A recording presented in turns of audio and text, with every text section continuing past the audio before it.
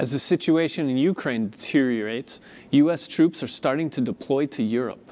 Approximately 160 soldiers from the 3rd Armor Corps at Fort Hood deployed on Monday to support European operations. The soldiers deployed as part of the 7,000 U.S. military personnel earmarked to support the NATO response force announced on February 24th.